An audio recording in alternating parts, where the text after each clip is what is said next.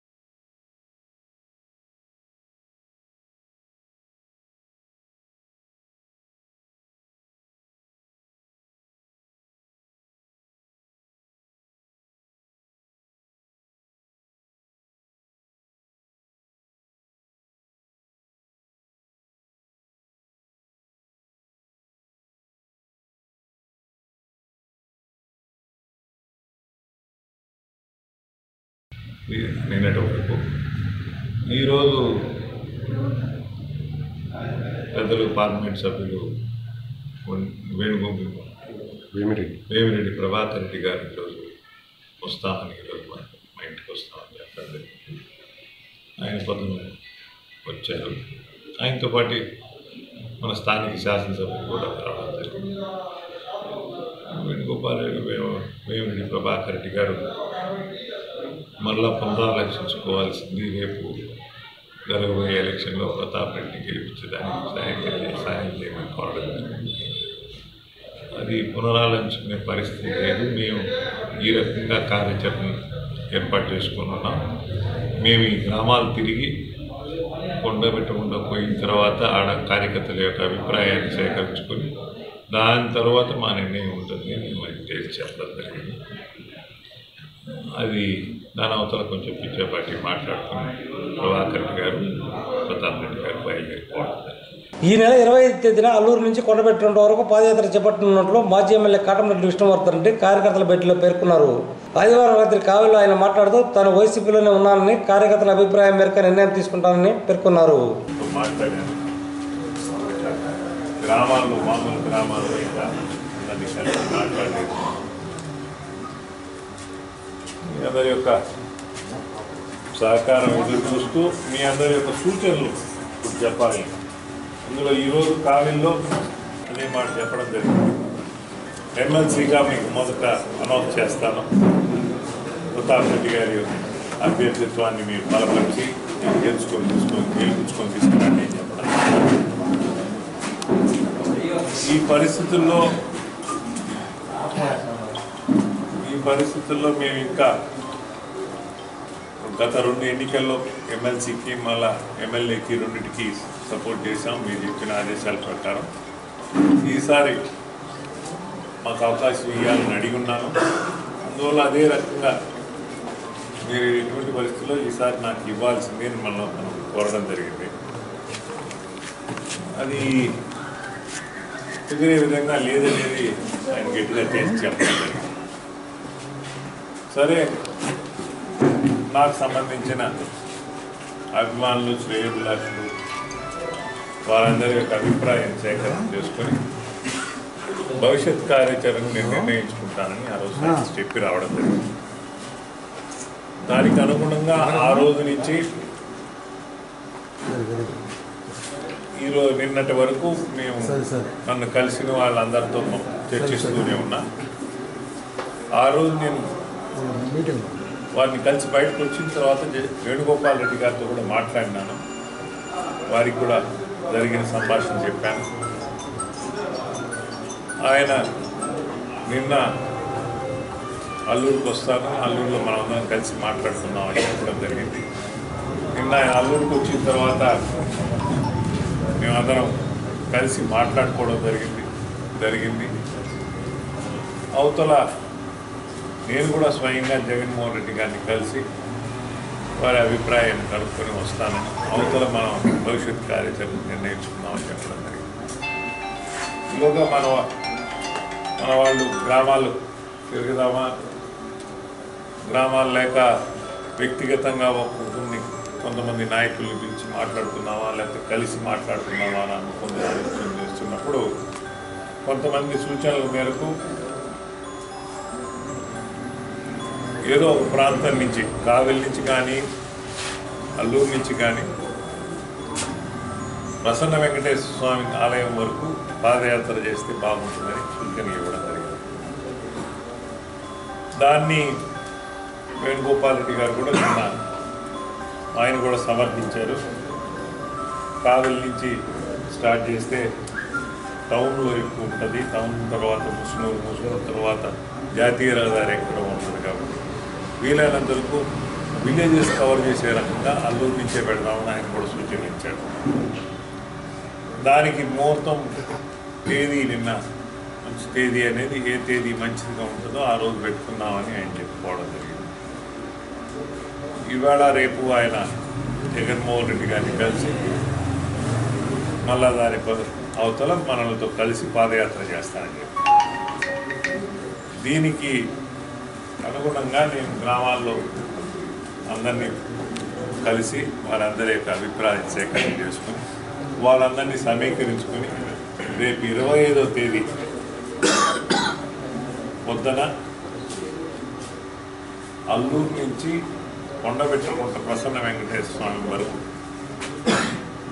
పాదయాత్ర చేసి ఆ వెంకటేశ్వర స్వామి సన్నిధిలో వారి దీవెనలు తీసుకొని అక్కడనే ఒక వేదిక పెట్టుకుని ఆ వేదిక మీద మనతోటి ఆ పాదయాత్రలో పాల్గొన్న వారు కానీ ఇతర శ్రేయోభిలాషులు కానీ అందరి యొక్క సూచనలు తీసుకొని మనం భవిష్యత్తులో ఏం చేయాలా ఏ విధంగా మసులుకోవాలా ఏమి చేయాలనే దానికి నిర్ణయం ఆ రోజు సాయంకాలం తీసుకోవాలనేది అందరి సూచన.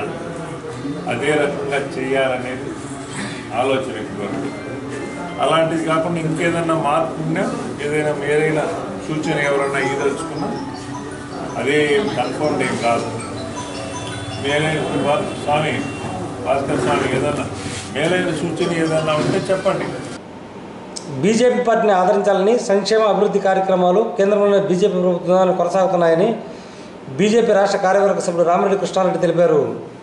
ఆదివారం కావలి వెంగయ్య గారి పాలనలో ఇంటింటికి బీజేపీ కార్యక్రమం జరిగింది. ఈ కార్యక్రమంలో బీజేపీ పట్టణాధ్యక్షుడు బెల్లంకొండ మాలాద్రి రంగారెడ్డి దారా శ్రీనివాసులు కమల తదితరులు పాల్గొన్నారు.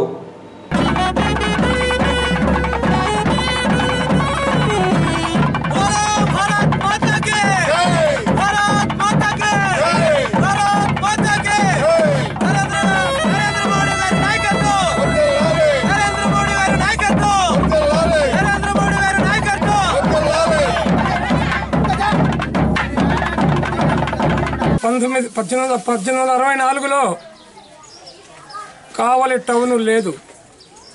ఒక్క ఎంగగారి పాలెం పక్కన కావలమ్మ గుడి కానీ ప- సరాపాలెం పంచాయతీలో కానీ కావల్లో కానీ పదిహేను ఇళ్ళు కట్టుకొని కాపరి ఉన్నారు. ఫస్ట్ పునాది కావలి టౌన్కే కావలమ్మ గుడి. ఇక్కడే ఉన్నారు.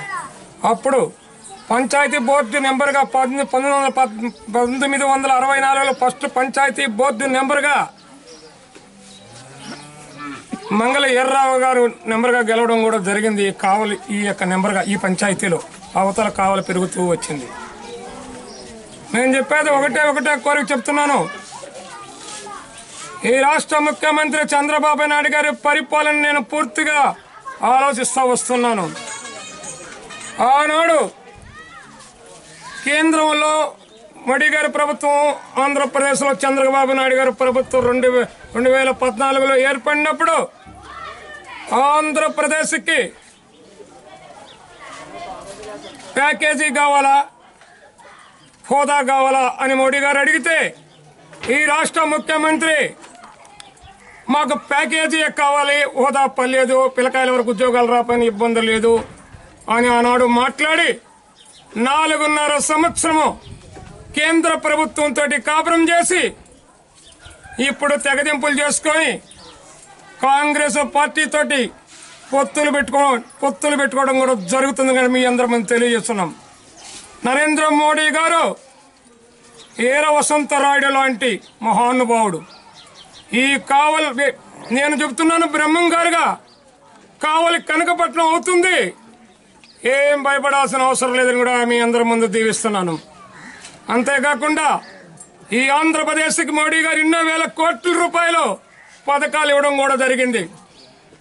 కానీ ఇన్ని పథకాలకి ఇన్ని వేల కోట్లు డబ్బులు ఇచ్చినప్పుడు ఈ డబ్బుని సక్రమైన పద్ధతిలో అమలు చేయకుండా వాళ్ళ పార్టీ నాయకులు కార్యకర్తలు దోసుకొని తినడం కూడా జరిగింది. నేను గమనిస్తూ ఉన్నాను.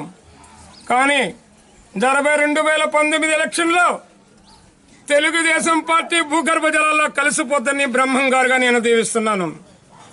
అంతేకాకుండా ఈ ఎంగయ్య గ్రామంలో ఏమి అభివృద్ధి చేశారని నేను అడుగుతున్నా? కేంద్ర ప్రభుత్వం కావలికి వంద కోట్ల రూపాయల నిధులు ఇచ్చి కావలిని అభివృద్ధి చేయమని చెప్పేసి ఏదైతే వెనకబడ్డ ప్రాంతాలు ఉన్నాయో బీసీ కాలనీలు ఉన్నాయో వాటన్నిటిల్లో అంతర్గత సిమెంట్ రోడ్లు డ్రైనేజీ కాలువలు మంచినీటి వ్యవస్థను అభివృద్ధి చేయమని చెప్పేసి కేంద్ర ప్రభుత్వం నిధులు పంపిస్తే ఆ నిధులు మొత్తం ట్రంక్ రోడ్లో రంగులు వేసుకొని ఆ నిధుల్ని కాజేసిన ఘన చరిత్ర మన కావలి నాయకులకి మున్సిపాలిటీకి దక్కిందని చెప్పేసి మీ అందరికీ తెలియజేస్తున్నాను. గారి నాయకత్వంలో కేంద్ర ప్రభుత్వం అనేక రూపాల్లో అనేక పథకాలని మన ఆంధ్ర రాష్ట్రానికి ప్రవేశపెట్టింది. అందులో భాగంగా కొన్ని లక్షల కోట్ల రూపాయలు ఈ ఆంధ్రప్రదేశ్కి నిధులు ఇవ్వడం జరిగింది. ఆ ఇచ్చినటువంటి నిధులను దుర్వినియోగం చేస్తూ నిధులు రాలేదు ప్రత్యేక హోదా ఇవ్వలేదని ఒక బూచిని చూపిస్తూ వచ్చినటువంటి నిధులను సద్వినియోగం చేయకుండా దుర్వినియోగం చేస్తూ బీజేపీ పైన అబండాలు మోపుతున్నారు అందులో భాగంగానే కావలికి దాదాపు ఈ నాలుగు సంవత్సరాలు సంవత్సరానికి యాభై కోట్ల లెక్కన అమృత పథకం కింద నిధులు రావడం జరిగింది. ఇది నాలుగు సంవత్సరాలు దాదాపు నూట యాభై కోట్ల నిధులు కావలికి ఒక ప్రవాహంలాగా కేంద్ర ప్రభుత్వం నుంచి వచ్చిన వచ్చి ఉన్నాయి ఈ నిధుల్ని దుర్వినియోగం చేస్తుంది ఈ నిధులు ఎక్కువ దుర్వినియోగం అవుతున్నాయి. ఈ నిధులు ఏ దేనికి ఖర్చు పెట్టింది ఇంతవరకు దానికి సంబంధించినటువంటి సరైన సమాచారం కూడా లేదు. ఈరోజు ఆరో వార్డులో శ్రీ రామిరెడ్డి కృష్ణారెడ్డి గారి ఆధ్వర్యంలో ఈ బ్రహ్మం గారి వేషం వేయడానికి ముఖ్య కారణం ఒకటి ఉంది. ఏంటంటే హిందూ సాంప్రదాయం అడుగంటిపోతున్న తరుణంలో ఆ రోజు ఎప్పుడో మూడు వందల సంవత్సరాలకు ముందే బ్రహ్మం గారు చెప్పున్నాడు. కావల కలకపట్నం అవుతుంది అని నా మాట వినండి అని చెడ్డదార నడవద్దనని ఇవన్నీ చెప్పుకున్నాడు. ఎవరి కోసం? మన కోసం. కానీ ఈరోజు స్టేట్ గవర్నమెంట్ ఏం చేస్తుందంటే ఎవరైతే చేసున్నారో ఆ పనులన్నీ తీసేయటం ఆయన పనులుగా చెప్పుకోవటం నాలుగున్నర సంవత్సరం అయితే ఈరోజు ఆ రోజున్న రేషన్ కార్డులు పెన్షన్లు మొత్తం తీసేయటం అవే మీ సేవలో పెట్టడం రావటం. పేద బడుగు బలహీన వర్గాల వాళ్ళు ఎట్లా ఇబ్బంది పడుతున్నారంటే అది మన గౌరవనీయులైన ముఖ్యమంత్రి గారికి తెలియదని నేను అనుకుంటున్నాను. బీజేపీ రాష్ట్ర కార్యవర్గ సభ్యుడు రామిరెడ్డి కృష్ణారెడ్డి బీజేపీ ఇంటింటి కార్యక్రమంలో భాగంగా వీర బ్రహ్మేంద్ర స్వామి వేషంలో అందరినీ ఆకట్టుకున్నారు. వీర బ్రహ్మేంద్ర స్వామి వేషధారణలో వెంగయ్య గారిపాలెంలో తిరుగుతూ ప్రజలను బీజేపీని ఆదరించాలని కోరారు. వీర బ్రహ్మేంద్ర స్వామి గెటప్ ఆకట్టుకుంది.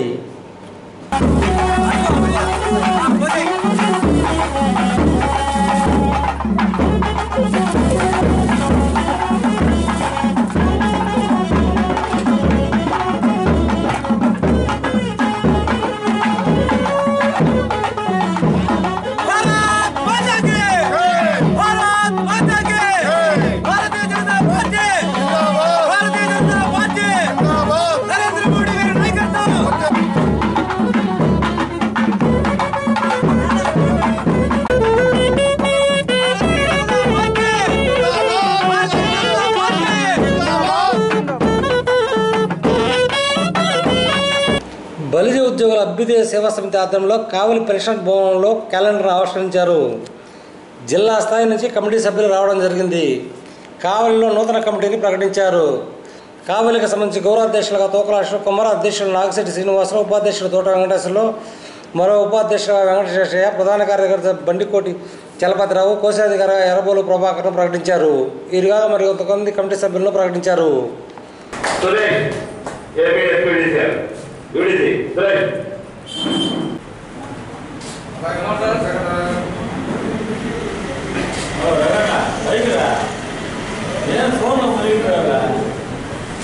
కార్పొరేషన్ దీనికి ఒక కోటి రూపాయలు ఇవ్వడం మొత్తం ఆరు కోట్ల రూపాయలు ఏర్పాటు జరిగింది. ఆ యొక్క భవన నిర్మాణం కూడా ఆ యొక్క ప్లాన్లో అన్నింటినీ మనల్ని సలహా సంపాదనతోనే జరిపాడు మనకు కాదు భవనంలో ఒక పెద్ద హాలు. దానికి అనిలంగా వాస్తువులు కూడా తీసుకెళ్ళి అన్నీ చూపించుంటుంది. చక్రధర్ గారు ఎంతో కృషి చేసి నాలుగు రోజుల్లో అది ఫైల్ అయిపోయింది. నిన్న పదిహేడవ తారీఖున ఎన్సిసి అనే సంస్థకి ఇచ్చారు. వాడు నాగార్జున నాగార్జున కన్స్ట్రక్షన్ కంపెనీ వాళ్ళకి కూడా జరిగింది రేపు నెల ఇరవయో తారీఖున first floor ground floor first floor ఇస్తామని వాళ్ళు మాటిచ్చారు. ఎంత వేగంగా చేస్తున్నారంటే దాన్ని మన అబ్జర్వర్లు కూడా పెట్టారు. అంటే ఎందుకు చెప్తారంటే నేను చేసిన కృషి సార్ మీ అందరి బాగానే అందరూ. జిల్లాలో మేము ఎన్నో కార్యక్రమాలని ముందుకు తీసుకెళ్తున్నాం. ఎంతెంతో ఆ కాపు భవనం మనం కళ్ళ కన్నటువంటి స్వర్గం ఎందుకంటే ఐదు ఫ్లోర్లతో జీ ప్లస్ ఫైవ్ కింద కార్ పార్కింగ్ ఆ యొక్క డిజైన్స్ కూడా మన బీచ్లో కూడా పెట్టడం జరిగింది లోగోలో. ఫస్ట్ పేద పిల్లల కోసం హాస్టల్ వస్తుంది అది కూడా ఐదు ఫ్లోర్లతో ఏర్పాటు చేయడం జరిగింది. ఇవన్నీ కూడా ఏర్పాటు చేయడం చాలా మందికి పనులు జరిగింది. మాకు ఇవ్వలేదు అంత భవనం వాడికే తీసుకున్నారు. కానీ వారి సహకారం సమన్వయం దానికి అందరినీ పిలిపించాము. ఆ స్టేజ్ మీద అధికారి మాట తీసుకున్నాము. మనకు ప్రతిదీ ఈ కాపు భవనం మనం రాబోయేటువంటి చరిత్రలో శిలాశాసనంగా నిలబడిపోతుంది. గత రెండు మూడు నెలల్లోనే మనం ఏర్పాటు చేసుకోగలుగుతాం. సాధిస్తాం సాధిస్తాం. సాధిస్తాం సాధిస్తాం. టెన్నిస్ టోర్నమెంట్ కోసం ఈ నెల పదహారవ తేదీ నుంచి ఇరవై తేదీ వరకు కావలిలో కోచింగ్ తీసుకున్న క్రీడాకారులను ఈ నెల ఇరవై రెండవ తేదీన చెన్నైలో ఎస్ఆర్ఎంలో జరిగే క్రీడా పోటీల్లో పాల్గొంటారని పీటీ ప్రసాద్ రెడ్డి తెలిపారు.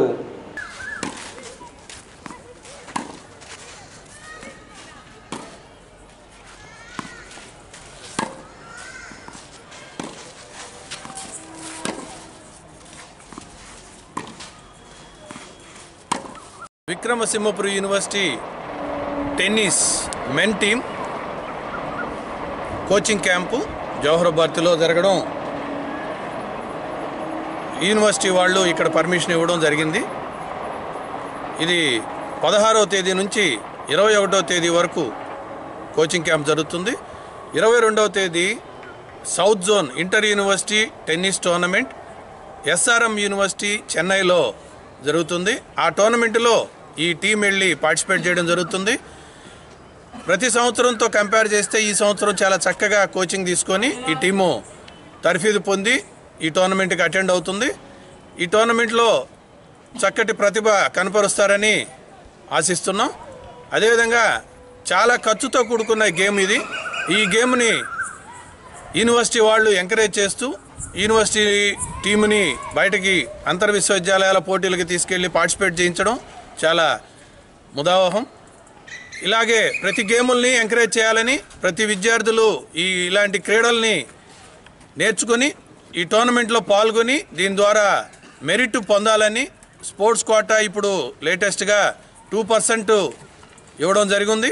ఈ టూ పర్సెంట్లో ఇటువంటి గేమ్లన్నీ కూడా ఈజీగా ఖర్చుతో కూడుకున్నవైనా కానీ ఈజీగా ఆడేదానికి అవకాశం ఉంది. ఇక్కడ మా దగ్గర ఇన్ఫ్రాస్ట్రక్చర్ ఇదంతా ఉండడం వల్ల ఇక్కడ మా విద్యార్థులు మీరు చుట్టుపక్కల ఉన్న గ్రామాల్లో డిగ్రీ కాలేజ్ చదువుతున్న విద్యార్థులందరికీ కూడా ఈ ఎక్విప్మెంట్ మేము ప్రొవైడ్ చేయడం వల్ల ఈ గేమ్ని నేర్చుకోవడం జరుగుతుంది. ఇలాగే దాతలు స్పోర్ట్స్ ప్రమోటర్స్ అందరూ ఇటువంటి గేమ్స్ని ఎంకరేజ్ చేయాలని కోరుకుంటూ సెలవు తీసుకుంటాం థ్యాంక్ యూ కావలి ఆర్ఎన్బి అతిథి గృహంలో యానాదుల సంక్షేమ సంఘం సమావేశం జరిగింది. రాష్ట్ర అధ్యక్షుడు కుడుమల రామచంద్రయ్య జిల్లా అధ్యక్షుడు మురళి కృష్ణయ్య సుబ్బారావు తదితరులు పాల్గొన్నారు. కూడా ఏ మాల మహారాడుకో ఏ మాదిరి దండాలకో తీసుకుపోమని లేదు. కనీసం ఒక ఎమ్మెల్సీ దాంట్లో రిజర్వేషన్ ప్రాతిపదిక ఉండాలన్నటువంటి ఆలోచన విధానం కూడా లేకుండా ఈ రాష్ట్ర ప్రభుత్వం నడుచుకుంటూ ఉంది. ముఖ్యంగా చెప్పాలంటే రాష్ట్రం విడిపోయిన తర్వాత జరిగే రాష్ట్రం విడిపోయిన తర్వాత మనకు నూట డెబ్బై ఐదు ఎమ్మెల్యే స్థానాలు ఇక్కడికి వచ్చాయి. అక్కడ ఏమో తెలంగాణలో నూట ఇరవై ఐదు వచ్చాయి. కానీ అసెంబ్లీ ప్రాతిపదికన మనకు అసెంబ్లీలో ఆరు శాతం రిజర్వేషన్ ప్రకారము ఎమ్మెల్యే సీట్లు ఉండాలి. కానీ రాష్ట్రం విడిపోయిన తర్వాత నూట డెబ్బై ఐదు ఉంటే ఇక్కడ కేవలం ఏడే ఉన్నాయి. మనకు జనాభా ఎమ్మెల్యే ప్రాతిపదికన మనకు పదకొండు రావాలి. కానీ ఏడే ఉన్నాయి? ఆ ఏడు కూడా వైజాగ్ ప్రాంతంలో లేకుండా ఏజెన్సీ ప్రాంతంలోనే ఉన్నాయి. నేను సీఎం గారిని కలిసినప్పుడు ఒకటి అడిగాను అయ్యా బాధ్యకేషన్ అడిగిన తర్వాత సిక్స్ షెడ్యూల్లో ఏమైనా ఉందంటే మీకు రాష్ట్రానికి రావాల్సిన హక్కులన్నీ మీరు పరిశీలించుకోవచ్చు అని ఉంది. దాన్ని ఎందుకు మీరు డిమాండ్ చేయలేదని? ఆ డిమాండ్ చేస్తే మైదాన ప్రాంతాల్లో ఓసీ రిజర్వేషన్ ఎమ్మెల్యేలు పోతాయి సీట్లు పోతాయని ప్రతి ఒక్కరు ఓసీ సీట్లు పోతాయని ఈ రాజకీయ పార్టీలన్నీ తెలుగుదేశం కావచ్చు కాంగ్రెస్ కావచ్చు వైఎస్ఆర్ కాంగ్రెస్ కావచ్చు ముండమోపి పార్టీలన్నీ కూడా దాని మీద దృష్టి కేంద్రీకరించకుండా మనకు అన్యాయం చేస్తుంటే చూస్తూ ఊరుకోలేమని కూడా హెచ్చరిస్తూ ఈరోజు ఇరవై ఏడవ తేదీ వచ్చే నెల ఇరవై పదవ తేదీ మన కావలలో మహాగర్జన యానాది మహాగర్జనని ఏర్పాటు చేస్తున్నాం.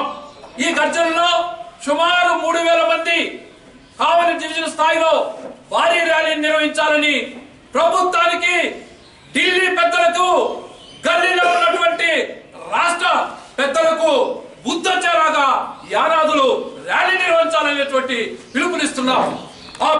కావలి వెంగళానగర్ ఉదయగిరి రోడ్లో సైకిల్ను తప్పించిపోయి ఆటో బోల్తాపడ్డ సంఘటనలో ఇద్దరు గాయపడ్డారు. గాయపడ్డవారు కావలి ఏరియా వైశాల్లో చికిత్స పొందుతున్నారు. డెన్నీ సుందర్తో సమాప్తం. నమస్కారం.